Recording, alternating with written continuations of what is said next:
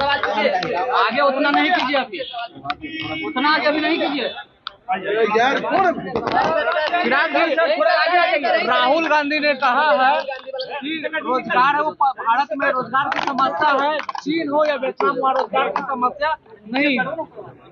भाई अगर उनको अपने देश में ही सारी बुराइयाँ दिखती हैं और दूसरे देशों में उन्हें लगता है कि सब बहुत अच्छा चल रहा है।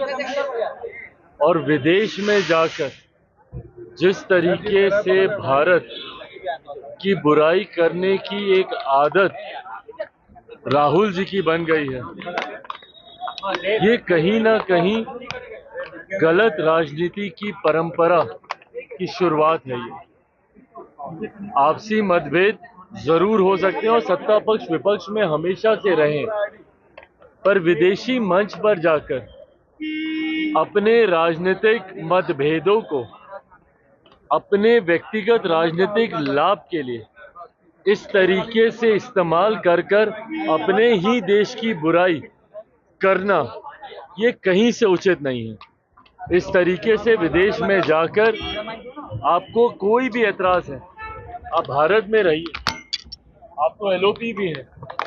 आप सरकार के समक्ष अपने सुझाव भी रख सकते हैं अपनी चिंताएँ भी रख सकते हैं। पर इस तरीके से दूसरे देश में जाकर भारत की बुराई करना कहीं से उचित नहीं।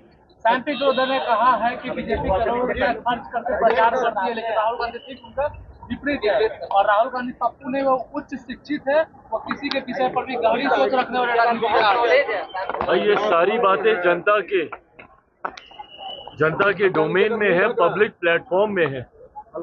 उसके बाद भी अगर जनता ने तीसरी बार लगातार प्रधानमंत्री नरेंद्र मोदी जी के नेतृत्व में एनडीए सरकार को चुना है तो कहीं ना कहीं ये बात तो स्पष्ट है ना कि सैम पित्रोदा जी जितने भी गुणों का उल्लेख कर रहे हैं राहुल गांधी जी को लेकर, कम से कम भारत की जनता तो उसे स्वीकार नहीं करती।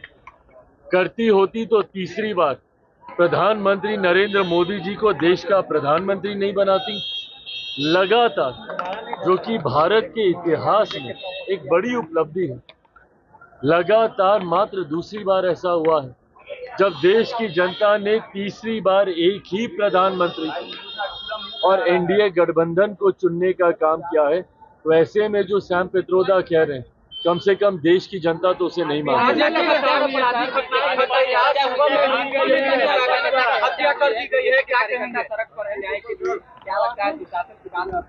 नहीं देखिए ये सब चिंता का विषय तो है ही।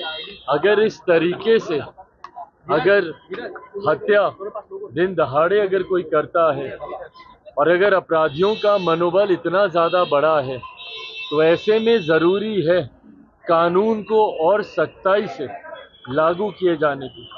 जब तक अपराधी के मन में भय नहीं आएगा, तब तक इस तरीके की घटना घटती रहेगी। मैं पुनः आग्रह करूँगा स्थानीय प्रशासन से कि जल्द से जल्द जो भी दोषी हैं उस पर कड़ी कार्रवाई करें और कानून के डर को कम से कम अपराधियों के मन में स्थापित करने का